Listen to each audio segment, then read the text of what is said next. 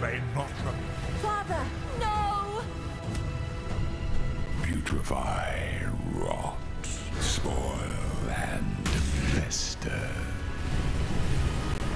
Exile, do something!